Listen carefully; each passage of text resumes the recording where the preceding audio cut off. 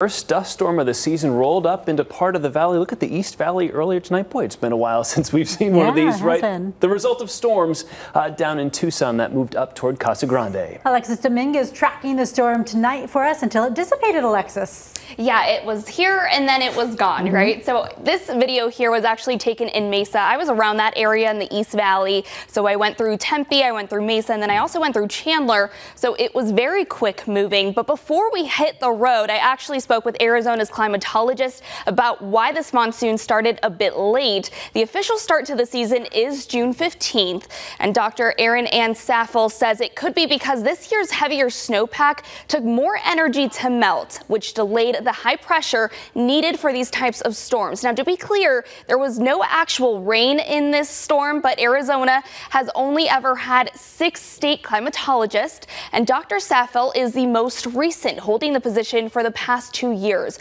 She says we've been measuring temperatures in Phoenix since about 1895, and during that time, on average, there were about five days every year where Phoenix was 110 or hotter. Now, this year, she says so far we're at 22 days at or above 110. But Dr. Saffell says high temperatures are the first thing needed for monsoon storms to pop off.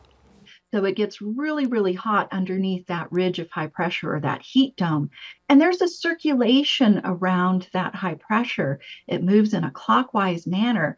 And what that can do is it pulls moisture into Arizona from the Sea of Cortez or the Gulf of Mexico, bringing that moisture in.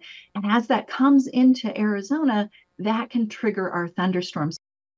Although she expects will break the 18 day streak record, she also expects thunderstorms will soon bring much needed relief. Now, I asked if there's a way to predict what our monsoon will look like this year, whether it'll be more rain, average, or even a little bit less moisture. Unfortunately, though, she says it will be a waiting game because it varies from year to year. Back to you guys.